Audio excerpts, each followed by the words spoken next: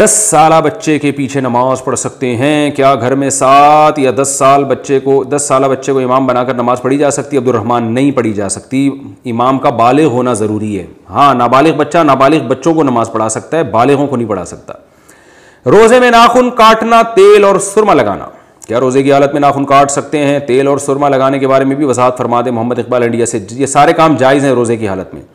کیا باپ اکلوتی بیٹی کا نام جائیداد کر سکتا ہے؟ کیا باپ اپنی زندگی میں اپنی اکلوتی بیٹی کا نام ساری جائیداد کر سکتا ہے؟ ابو بکر، باپ کی وراثت میں بیوی کا، اس کی وائف کا حصہ بھی ہوتا ہے، اس کے والدین کا بھی ہوتا ہے۔ تو اگر یہ سب حیات ہیں اور یہ سب خوشی سے اجازت دے رہے ہیں کہ بھئی آپ اپنی بیٹی کے نام ساری جائیداد کر دیں، تو کر دیں آپ، جائز ہے۔ لیکن بیٹی کے نام جائیداد کرنے سے بیٹی کی ملکیت ثابت نہیں ہوتی۔ بیٹی اگر بالغ ہے، تو اس کو قبضہ دینا بھی ضروری ہے۔ بالکل مکمل دس بردار ہو جائے اس سے۔